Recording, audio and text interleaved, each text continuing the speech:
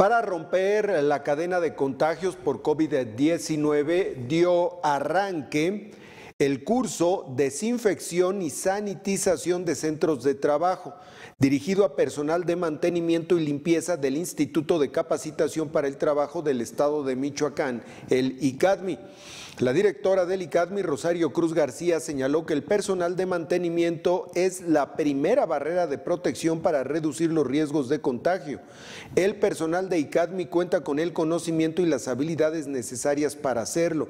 En sus manos está nuestra salud, dijo Rosario Cruz.